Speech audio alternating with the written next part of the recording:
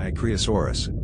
Dicraeosaurus, gr. Delta iota kappa rho alpha iota omicron sigma, dikraios bifurcated, double-headed plus gr. Sigma alpha upsilon rho omicron sigma, sauros lizard, is a genus of small diplodocoid sauropod dinosaur that lived in what is now Tanzania during the late Jurassic. It was named for the spines on the back of the neck. The first fossil was described by paleontologist Werner Janensch in 1914. Description Unlike most diplodocoids, Dicraeosaurus had a large head with a relatively short and wide neck. The neck contained 12 unusually short vertebrae, so it could probably browse vegetation only from ground level to a height of about 3 meters, 9.8 feet.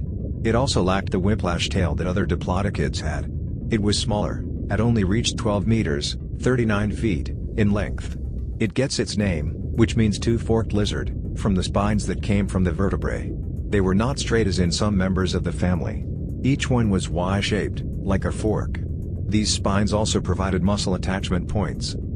Classification The following cladogram follows an analysis by Sereno et al. In 2007. Paleoecology Dicraeosaurus lived in the late Jurassic. It was herbivorous, however, it didn't compete with other dinosaurs for vegetation. Fossils have been discovered in the rocks of Tendaguru Hill in Tanzania. The rocks also yield fossils of Giraffatitan and Kentrosaurus. As there was a distinct difference in size between these animals, they would probably have browsed for vegetation at different levels, allowing them to coexist without significant competition.